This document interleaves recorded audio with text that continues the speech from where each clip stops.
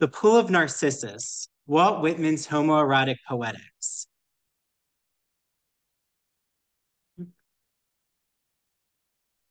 Okay.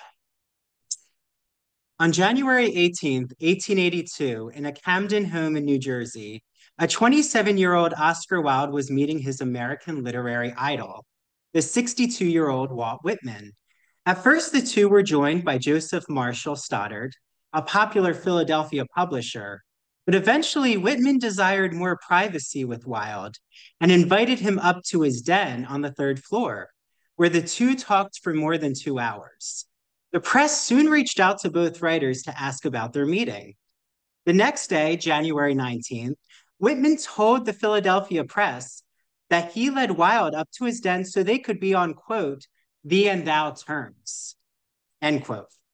When interviewed by the Boston Herald on January 29, Wilde said that meeting Whitman was the closest he would get to meeting an ancient Greek figure.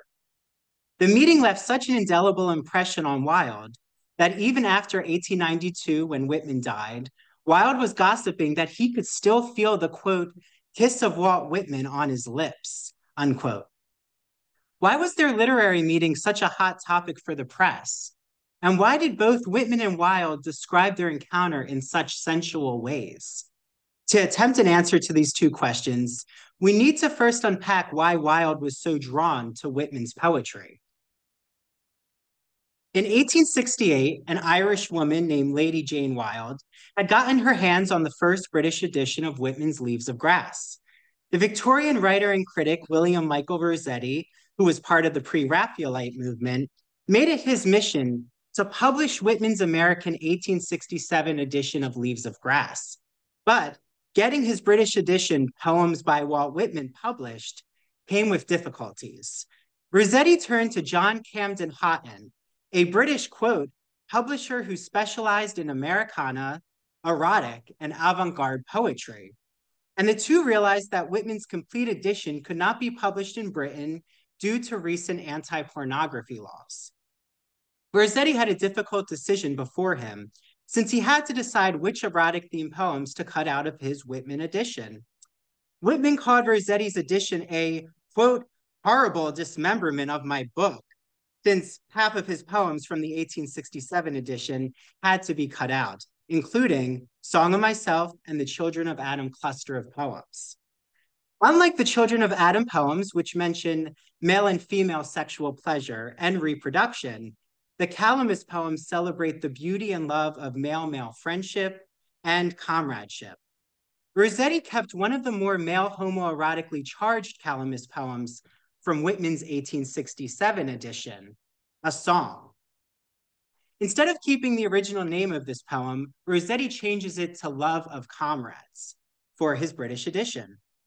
In the first stanza of the poem, the male speaker reveals his mission, which is to quote, make the most splendid race the sun ever yet shone upon, and I will make divine magnetic lands with the love of comrades, with the lifelong love of comrades, unquote.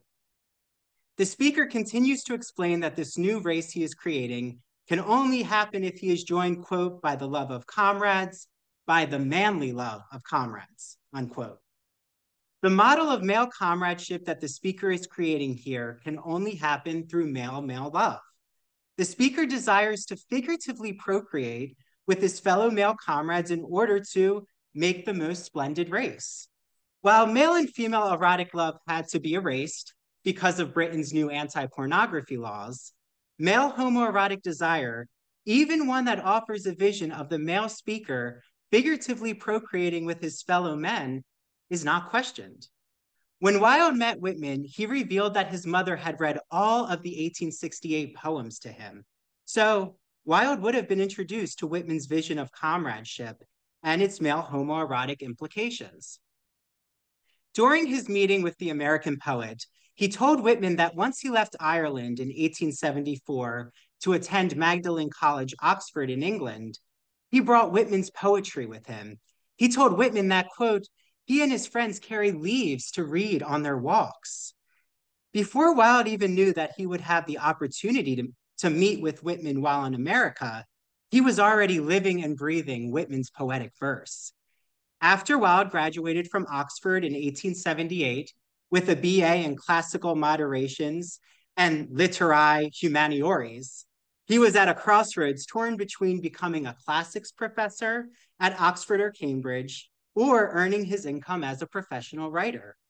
Wilde decided to pursue a career as a poet, and in the summer of 1881, Wilde published his first volume of poetry entitled Poems.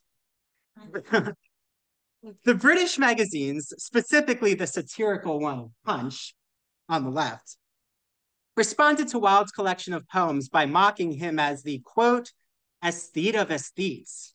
Wilde was quickly gaining notoriety in London's literary scene as an aesthetic poet who sought to propagate a new gospel of beauty.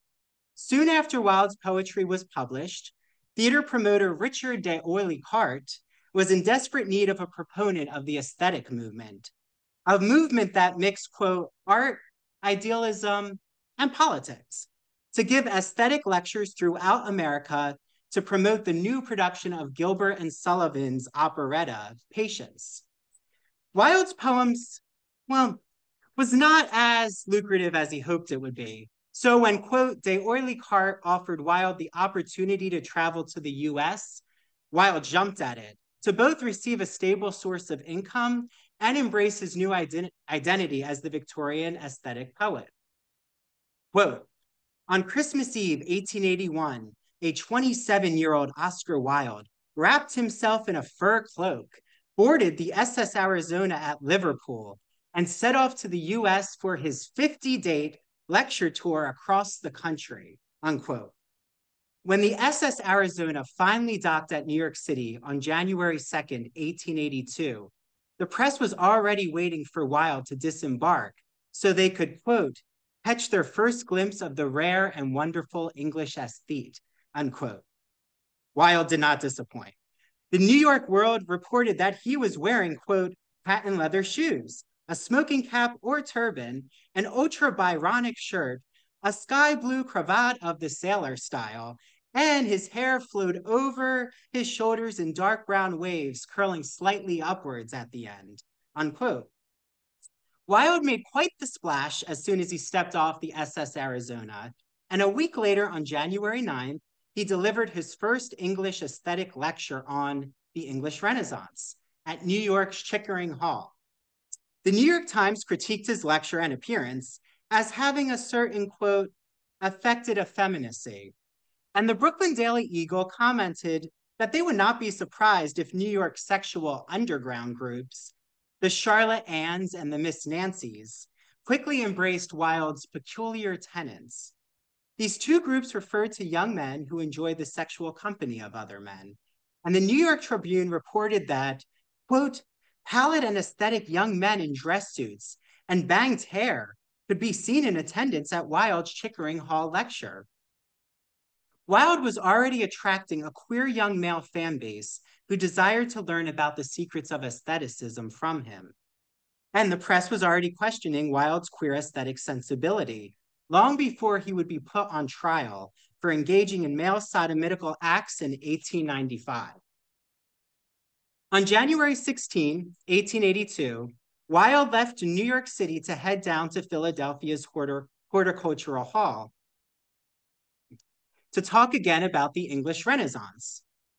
As Wilde journeyed by train from Jersey, Jersey City down to Philadelphia, a reporter from the Philadelphia Press interviewed him and on January 17th released an article based on their conversation, Talk with Wilde. One of the key moments from this train interview was that Wilde opened up about his love for Whitman in response to the reporter asking, quote, what poet do you most admire in American literature? He told the reporter that, quote, I think that Walt Whitman and Emerson have given the world more than anyone else. I do so hope to meet Mr. Whitman. Perhaps he is not widely read in England, but England never appreciates a poet until he is dead. Wilde is eager to meet his American literary hero Whitman when he arrives in Philadelphia, since he knew that Whitman lived across the Delaware River in Camden, New Jersey. Wilde followed up his comment to the reporter by emphasizing the intensity of his admiration for Whitman and says that he discusses Whitman with his friends, quote, Dante Rossetti, Algernon Charles Swinburne, and William Morris. He also notes that, quote, there is something so Greek about his poetry. Wilde's identification of Greek themes in Whitman's poetry connects to what he told the Boston Herald about thinking he was in the presence of an ancient Greek when he spent intimate time with Whitman. On January 11th, Stoddart wrote to Whitman that, quote, Oscar Wilde has expressed his great desire to meet you socially, and he will dine with me when I shall be most happy to have you join us, unquote. However, Whitman could not travel to see Wilde in Philadelphia since he had experienced a stroke and his mobility was limited. Wilde did not take no for an answer and made it clear to Whitman that he would eagerly travel to Camden to meet his idol. Whitman responded in a note on January 18th, the day after Wilde delivered his Philadelphia lecture, that if Wilde would like to see him, he could be found at 431 Stevens Street, Camden, between 2 till 3 and a half, 3.30 this afternoon, and will be most happy to see Mr. Wilde and Mr. Stoddart. Wilde departed the Aldine Hotel where he was staying in Rittenhouse Square with Stoddart and boarded a ferry at Market Street in Philadelphia and made a quick journey across the river to Market Street in Camden. The two walked about 20 minutes to 431 Stevens Street, and Wilde's wish became a reality. He would spend more than two hours with Whitman. Whitman was living with his brother George and sister in law Louisa, who were taking care of him after his stroke. As Wilde and Stoddart sat down with Whitman, Louisa's homemade elderberry wine was produced, and the three indulged in it as they engaged in a literary discussion. This is when Wilde divulged to Whitman how his mother would read the Leaves of Grass poems to him as a child. Whitman was incredibly flattered and desired to get to know Wilde on a more intimate level. Whitman soon excused himself from Stoddart and the others gathered in the living room and invited Wilde up to his den on the third floor. This more intimate environment was later characterized by Whitman as a place where the two indulged in a quote, jolly good time, where Wilde could get away from fashionable society and spend time with an old rough. Wilde explained that while in the den, he experienced, quote, the greatest and strongest man who has ever lived. Whitman writes to his friend Harry Stafford after meeting Wilde that he was very impressed with this quote, fine, large, handsome youngster. Whitman called Wilde a quote, splendid boy who is so frank and outspoken and manly. Both men emphasized that their intimate time spent in Whitman's den led to a meaningful and pleasurable male bonding experience. The intimacy that the two men share in Whitman's den is both intellectual and physical, since Whitman and Wilde connect each other's manliness to their literary style. Even though Wilde had only published a selection of poetry, Whitman had commented on how Wilde was already making a name for himself as a literary face for Victorian aestheticism. Wilde knew that he was in the presence of an important literary mentor since he announced to Whitman that Quote, I have come to you as to one with whom I have been acquainted almost from the cradle, unquote. In his letter to Harry Stafford, Whitman responded that he was pleased that Wilde had, quote, the good sense to take a great fancy to me, unquote. What was it that Wilde desired to learn from Whitman? And why did Wilde categorize Whitman as possessing an ancient Greek aesthetic? The erotic intellectual connection between the men is one that a poet and professor, Helen Gray Cone, comments on when she creates a fictional poem entitled, quote, Narcissus in Camden. Even after Whitman's death in 1892, Wilde is still thinking about the erotic nature of this meeting when he tells his friends George Ives and John Addington Symonds that he could still feel, quote, the kiss of Walt Whitman on my lips. The possibility of this kiss and Whitman's later revelation that the two physically embraced reveals that a special male-male bond was created on January 18, 1882. Because of the differences in their ages, the erotic intellectual nature of their relationship makes it a 19th century version of ancient Greek male pederastic love. Wilde's comments about the Greekness in Whitman's poetry and in Whitman's physical appearance opens a slew of questions regarding why Wilde associated Whitman with this ancient Greek tradition.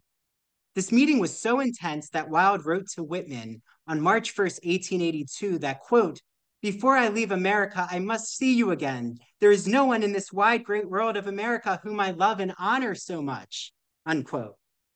Not much is known about what happened when Whitman and Wilde reunited on May 10, 1882, but a Philadelphia humorist of the time, Charles Godfrey Leland, wrote that before Wilde came to visit with him, he had just come back, quote, fresh from Camden, and had spent an hour at the feet of Walt Whitman. This article accurately captures the reverence that Wilde displayed when in Whitman's presence and emphasizes Wilde's desire to learn and gain private knowledge from Whitman. Since Wilde had been reading about Whitman's male comrades from his boyhood to adulthood, perhaps Wilde desired to learn more from Whitman about the beauty of manly love a theme that Whitman articulated throughout Leaves of Grass. Although ni neither Wilde nor Whitman explicitly discussed this when being interviewed by the press, Wilde gives us a clue when he notices the ancient Greek aspects of Whitman's poetry. Wilde had not yet published his most male homoerotically charged fictive works, The Picture of Dorian Gray, written in 1890, and his poem The Disciple, 1894, but Whitman recognized in Wilde a similarity in their literary themes and personalities. On January 18th and May 10th, when Whitman and Wilde stared into each other's eyes, they both were reflecting a male homoerotic desire that can be found in their literature and in their biographical lives. What a suggestive queer idea to think that both Whitman and Wilde were engaging in an act of male homoerotic literary cruising with one another. While their age difference reflects that ancient Greek pederastic connection, the mythical connection between them mirrors an ancient Greek male homoerotic myth that represents both male beauty and intellect, the myth of Narcissus. Hmm. Hmm. This myth is one that becomes foundational for understanding male same-sex desire in both Whitman and Wilde's representations of male homoeroticism. The queer male influence that the myth exerts on Whitman and Wilde differs, since Whitman's writing exists before John Addington Symonds and Havelock Ellis, who were Victorian sexologists, developed their 1890 theory of male sexual inversion, an early concept of male homosexuality. The influence of the Narcissus myth and ancient Greek male homoerotic culture and literature on Whitman's 1855 and 1860 editions of Leaves of Grass provides a new way of exploring male homoerotic themes in his poetry. Queer male writers who followed in Whitman's footsteps, like Wilde and Symonds, are influenced by the Narcissus myth's male homoerotic implications, but also by Whitman's representation of male same-sex desire and his vision of comradeship. I argue that Whitman creates a queer male procreative poetics, that allows for both contemporary and future queer male readers and writers to enter into a queer community of readers and writers that is united through their reading and rewriting of the Narcissus myth. The trope of the Narcissus myth, which is deployed by both American and British 19th century authors, offers a language to discuss homoerotic male relations that exists before medical writing on sexual orientation. This myth allows for a new language around homoerotic relations to develop before a medical, medicalized language for sexual orientation solidified. I focus on how the myth of Narcissus, an ancient Greek male homoerotic culture, influenced Whitman's representation of male same-sex desire, since Whitman is living during a time when society does not yet see sexuality as an identity that is split from gender normative behavior. The Narcissus myth and its male homoerotic influence on Whitman and fellow queer male 19th century American and British writers has been under-theorized in queer literary studies. When queer literary scholars do turn to Narcissus, they often neglect the original Greek version of the myth. In this version, Narcissus rejects the admiration and love of his male suitor, Ameinias, who kills himself in front of Narcissus and then is sentenced by Artemis, goddess of the hunt, to have only himself as a love object. Many will recognize the next part of the myth, since Narcissus falls in love with his own image when he sees it reflected back in a pond and so intensely desires his own image that he falls in the pond and drowns. The myth of Echo and Narcissus is added by the Roman writer Ovid. In this version, Narcissus is so desire, desirous of his own image that he wastes away and dies after ignoring Echo's advances. The homoerotic aspect of the pond derives from Narcissus's love for his own image, which occurs apart from society and is instead a private experience in nature. The pond's surface is a natural element that I am drawn to, since it is by the pond that many characters contemplate their sexual and gender roles in society. That in a society that they have been either forced out of or left of their own accord. In reflecting Narcissus, a queer aesthetic, Steven Bruhm briefly touches, touches upon the use of Narcissus as a homoerotic figure to represent male characters' inner feelings of desire towards other men. Bruhm and other queer critics have not closely examined the deployment of Narcissus by American and British writers to represent male-male desire and sexual relations outside of a psychoanalytic framework. Instead of looking at the period when homosexuality is invented in the field of sexology, I am more interested in how the myth of Narcissus figures as a pre-homosexual figure that allows many Anglo-American authors to explore male-male erotic relations. In my reading Homoerotic Bonds, I draw on Eve Sedgwick's formulations in Between Men and Epistemology of the Closet both of which introduced ways of thinking about same-sex male desire that existed in 19th century private and public communities without sexual identity categories. When looking specifically at 19th century American homoerotic texts, I draw upon the work of Scott S. Derrick and Peter Coviello, who both discuss queer male literary homoerotic relations through the lens of historicism by examining the cultural and societal shifts in masculine and feminine gender roles. For Derrick, the anxiety around the destabilization of dominant masculinity in American society helps to support his argument that canonical American 19th century texts are representative of a masculine anxiety around a restructuring of gender and sex relations. Coviello, on the other hand, looks at the parameters of sex in the US before the Wilde trials to provide a new taxonomy for expressing male same-sex desire that resists using an anachronistic term like, quote, homosexuality to label this desire. My major intervention in the field of queer reception studies is what I call queer influence theory. Queer reception studies is primarily concerned with how individual queer, quote, readers are both producers and receivers of a text, unquote. But this definition focuses on individual readers' engagement with a queer text, not a community of queer readers. My formulation of queer influence builds upon queer reception studies and argues that queer readers and writers turn to a particular text, for example, the myth of Narcissus, which actively creates a temporally expansive community. For an understanding of the field of queer reception studies, I turn to Natasha Hurley, Heather Love, and Christopher Nealon to arrive at my theoretical idea of a literary queer influence.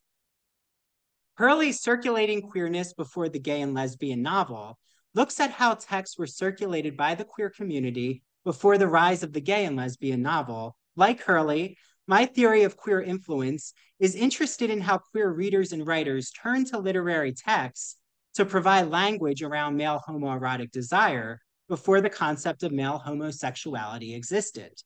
For Love, literary texts that explore queer negative feelings, like pain and shame, have been abandoned by queer activists and replaced solely with literary texts that provide affirmative queer messages, such as queer marriage.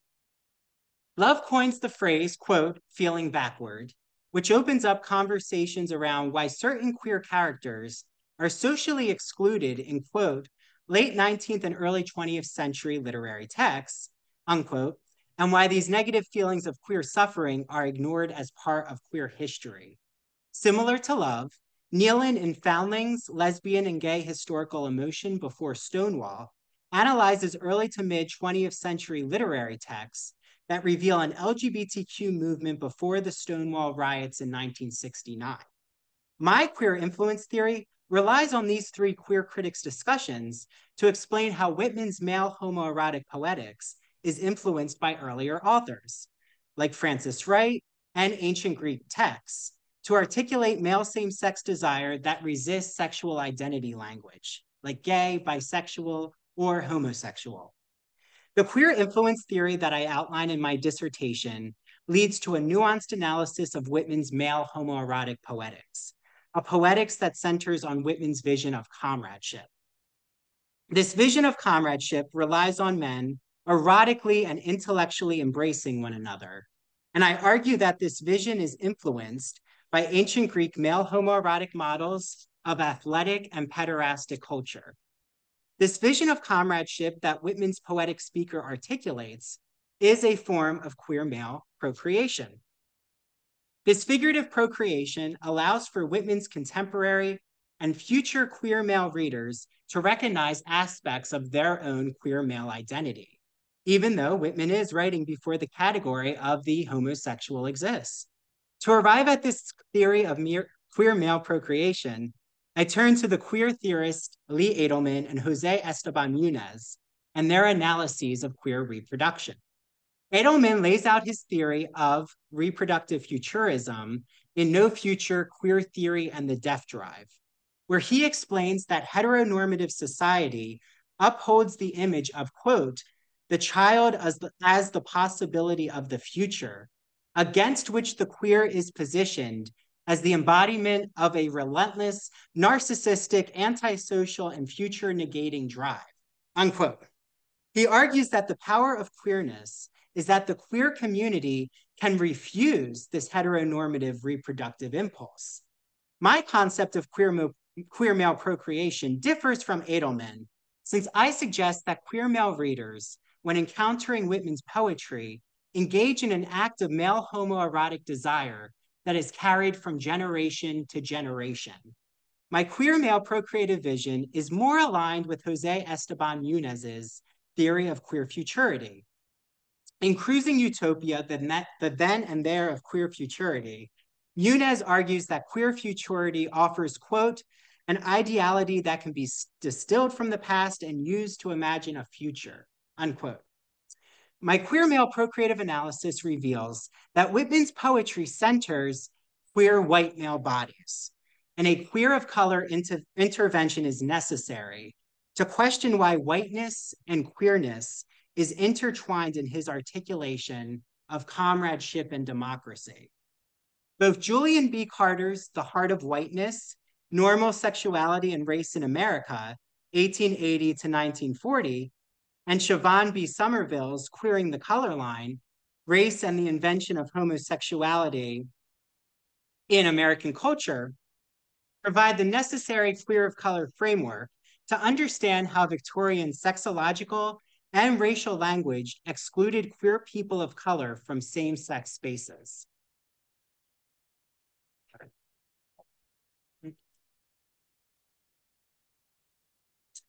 Chapter one Whitman's City of Orgies, begins by tracing Whitman's reading of ancient Greek literature before writing his 1855 Leaves of Grass.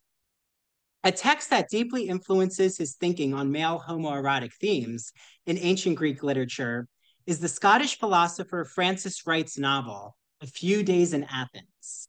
Exploring the erotic nature of Wright's novel, which provides a fictional history of Epicurus and his followers, provides a framework for understanding how Wright's intellectual ideas enter into Whitman's homoerotic poetics. Wright's novel, which is set in ancient Athens, follows a young male philosopher, Theon, who is desperate to join a philosophical com community. Before Theon joins Epicurus's community, he hears of scandalous nightly orgies occurring between Epicurus and his young male students. Theon enters Epicurus's circle, nevertheless, and learns that Epicurus's philosophy of hedonism is concerned with male homoerotic intellectual orgies, not necessarily physical ones. This plot point makes its way into Whitman's later Calamus poem, which celebrates and delights in, quote, City of Orgies, 1867, is that version of City of Orgies. The first Whitman poem that is influenced by Wright's novel is an unpublished poem called Pictures, written between 1850 and 1851. In Pictures, the speaker leads the reader on a homoerotic journey through ancient Athens and arrives in Whitman's 1851 New York City, where the reader encounters a man, quote, with rapid feet, curious, gay, going up and down Manhattan, through the streets, along the shores, working his way through the crowds, observing and singing. The reader, vis-a-vis the speaker, has effectively time traveled from the gardens of Socrates in 5th century BCE Athens to the mid 19th century streets of Manhattan. The unknown identity of the young man in the picture is soon unmasked when he is referenced again in another picture where he is described as, quote, the celebrated rough of Manhattan. Whitman will refer to his poetic self as, quote, one of the roughs in his 1855 Song of Myself. But it is in this stanza of pictures that Whitman first uses the adjective rough to describe his appearance. Although not the poet, Whitman, but a poet surrogate, Whitman uses parentheses to reveal the speaker's internal thoughts about this attractive young man gallivanting around Manhattan. The speaker reveals that this man is, quote, the one I love well. Let others sing whom they may. Hear him I sing for a thousand years, unquote. The speaker expresses his passionate love that he feels towards this rough man who is not only painted in a picture, but a man who the speaker has been following through the streets of Manhattan. It is in this poetic act of erotic cruising that Whitman poetically conveys what his early vision of comradeship looks like. The reader is not given a moment to contemplate the complexity of this queer relationship because right after the speaker describes the passionate love he has for the poet surrogate, he describes several pictures on the wall. But when he stops at the last picture, he calls out to the reader, quote, but here, look you well. See here the phallic choice of America, unquote. Although the reader was distracted by a few historical pictures, we are again called back to Whitman's homoerotic vision. Unlike other pictures, the speaker fully describes the image that is so full of phallic potency there stands before the speaker, quote, a full-sized man or woman, a natural, well-trained man or woman, unquote. Even if the speaker is not standing before nude bodies, his interpretation of their bodies as, quote, the phallic choice of America, unquote, poetically alludes to the significance of the phallus for the ancient Greeks. The speaker goes on to lay out how the phallic choice of America manifests itself by first starting with what is not included in this idea. To achieve this phallic idea, one must leave, quote, the finesse of cities and all the returns of commerce or agriculture, and the magnitude of geography and achievements of literature and art and all the shows of exterior victory, unquote. And by fleeing from these aspects of society, one will be that much closer to enjoying America's phallic energy an energy that Whitman attaches to the bodies of, quote, breeding full-sized men or one full-sized man or woman, unquote. Whitman's fascination with the virile man in this image serves as a precursor to what he will identify as, quote, the procreant urge of the world in his 1855 Song of Myself. At first glance, this creative energy described as phallic, breeding, and procreant fits into a patriarchal taxonomy, but Whitman specifies that America's phallic choice speaks for all American citizens. Even though the word democracy does not appear in pictures, it is the philosophical idea behind America's phallic choice. Whitman will eventually expand upon why comradeship is needed for America's democratic experiment to survive, fully realized in his 1871 Democratic Vistas. But here, he is interested in why erotic, specifically phallic energy, is what will begin to heal America's social and cultural divisions. This powerful erotic force is connected to Whitman's vision of homoeroticism that is expressed in pictures by Socrates, Socrates' pupils, and the speaker. Pictures is where Whitman first introduces his reader to a homoeroticism where the men share in a bodily, philosophical, aesthetic, and spiritual pleasure. Whitman has created the foundation for how homoeroticism will poetically appear in these different forms in his 1855 and 1860 editions of Leaves of Grass.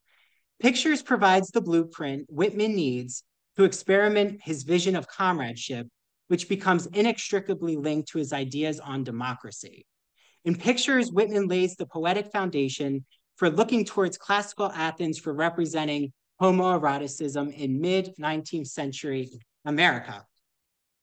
Chapter two, Whitman's phallic choice of America, opens by how exploring in pictures, Whitman articulates a form of democratic homoeroticism that places the common man at the center of democracy. This is problematic in regards to racial representation, since white maleness is at the center of Whitman's idea of democracy. While Pictures provides the foundation for Whitman's male homoerotic poetics, it is in Song of Myself where a link between male homoerotic desire and democracy is firmly established. While I am not the first Whitman scholar to draw attention to Whitman's use of ancient Greek myth and culture to establish his male homoerotic poetics, the majority begin their analysis with his Calamus poems, and not Song of Myself or the even earlier pictures. At the end of my chapter, I argue that in Song of Myself, Whitman offers a queer procreative urge that exists in a liminal space in between autoerotic and procreative desire, where queer men erotically connect with one another. Chapter three. I'll let you take this in. Okay, chapter three. Whitman cruises Narcissus, a queer procreative poetics, begins with the Song of Myself male speaker's focus on the male body and the power of the phallus, a focus that would seem to largely negate the experience of female sexuality. Phallic language throughout Song of Myself contains allusions to ancient Greek culture, specifically the Dionysian festivals, philosophical pederastic culture as exemplified by Plato, and warrior culture with Achilles and Patroclus's love. The male speaker in Song of Myself moves from a Narcissus-like autoerotic journey to a queer male procreative one when he is joined by the bedfellow. I argue that Whitman moves away from the Narcissus myth to the Calamus myth in order to affirm male-male desire. The queer male procreative vision that Whitman presents centers on queer white male bodies, and I turn to queer of color theory to address why white male bodies are idolized but black male bodies are fetishized. Then I address the question of the absence of women in Whitman's male homoerotic poetics and complicate it by questioning who the woman is in the 28 Bathers section. Section 11 of Song of Myself begins with the speaker observing that, quote, 28 young men bathe by the shore, 28 young men and all so friendly, 28 years of womanly life and all so lonesome. She owns the fine house by the rise of the bank. She hides handsome and richly dressed aft the blinds of the window. Which of the young men does she like the best? Ah, the homeliest of them is beautiful to her. Unquote.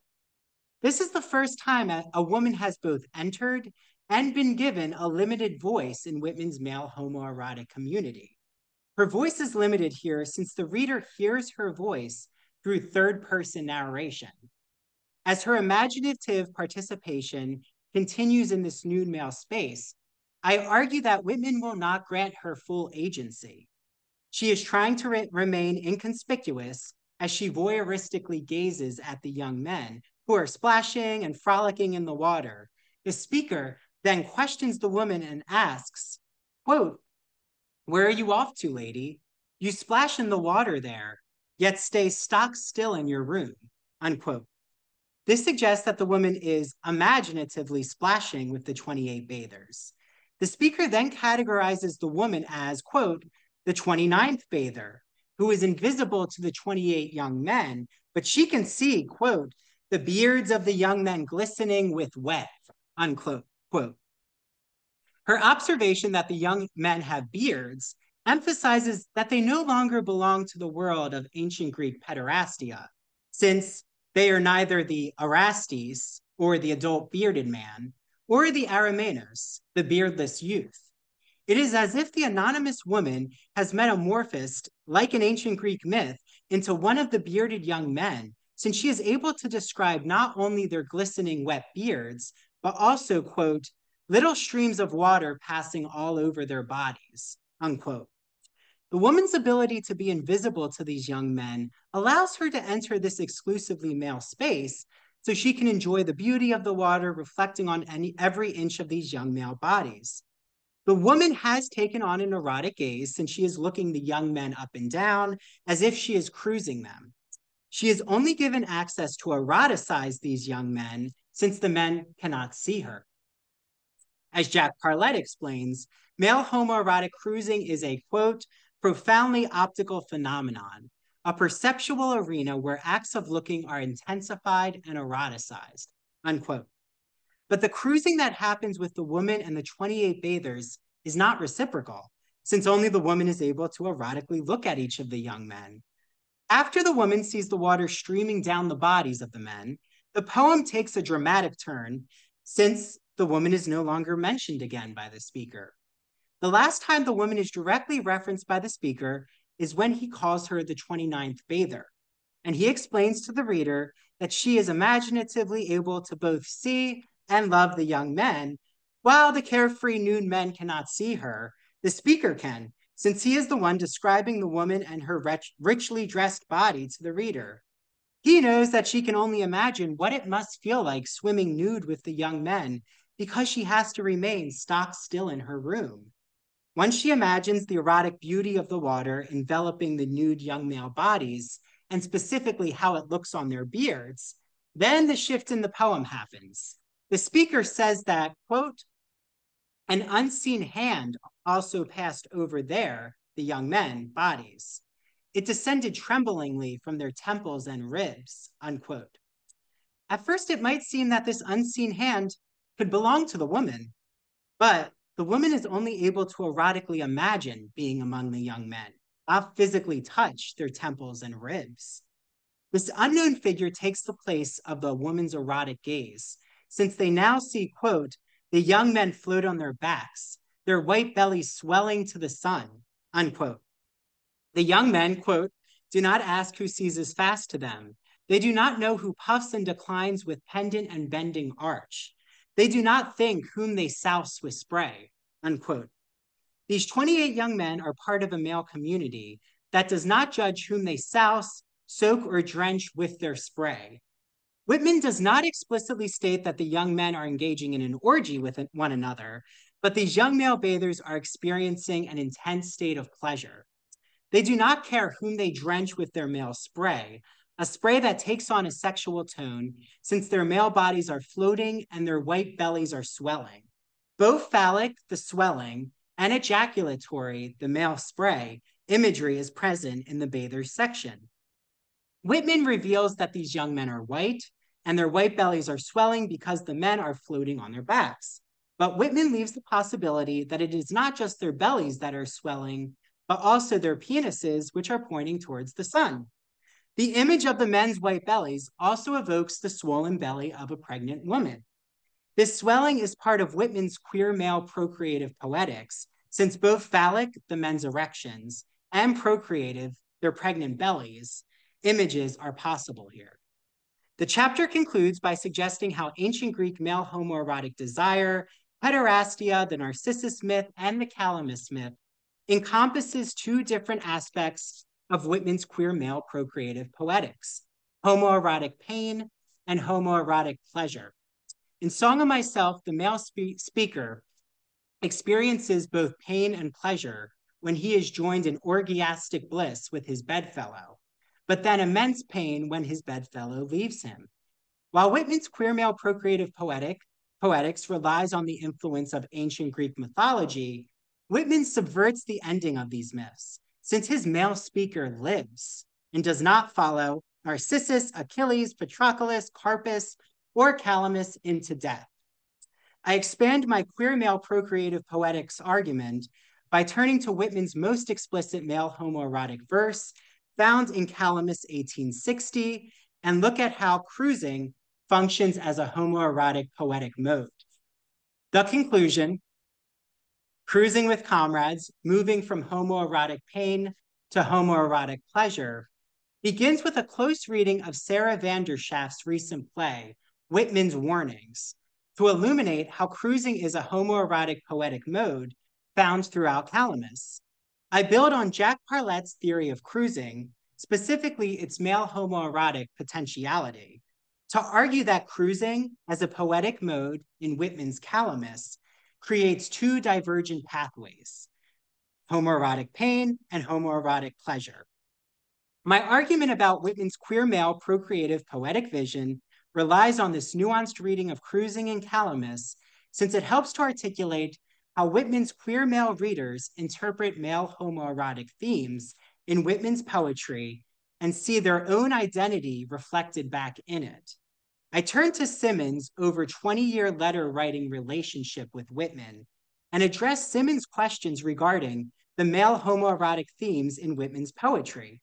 While Whitman scholars always point to Symonds' letter of August 3rd, 1890, where he asked Whitman about the possibility of the male sexual invert being represented in his poetry, Symonds first addresses male homoeroticism with Whitman in a letter dated on February 7th, 1872. Whitman does not reject Symonds' male homoerotic interpretation of intense manly love found in Calamus the 1872 letter, but he fully rejects any use of his poetry that will lead to men engaging in criminal male sodomitical acts, the 1890 letter. Whitman does not want Symonds' Victorian sexo- sexological language to be used as a critical lens that interprets the male speaker as a sexual invert. But instead of distancing himself from Symonds, Whitman continues corresponding with Symonds up until his death in 1892. Whitman never rejects Symonds' queer male identity, nor the possibility for male homoerotic themes that exist outside of a sexological framework, an attempt to read Whitman or the speaker as an early form of the male homosexual. Symonds' Walt Whitman a Study, 1892, builds on Whitman's vision of comradeship and Symonds explicitly confirms that this vision represents male same sex desire. Symonds' recognition of his queer male identity when reading Whitman's poetry acts as a figurative queer male procreative relationship and brings us back to the queer male influence Whitman held over Wilde. Whitman's queer influence on Wilde can be deeply felt when Wilde reimagines the Narcissus myth in his poem, The Disciple, 1894, and The Picture of Dorian Gray, 1890. The desire of Whitman's male Calamus speaker to spread his queer male procreative vision comes to fruition in both Symonds and Wilde's work. Symonds would not have been able to argue for an early model of male homosexuality without Whitman's male homoerotic poetics and its expansive view of male same sex desire. Once Symonds introduces this term, the male homosexual, with the help of Havelock Ellis, he ushers in a new era of queer male readers who have been inspired and influenced by Whitman's male homoerotic poetics. But that development reaches beyond the scope of this dissertation. And with that, thank you all so much for listening.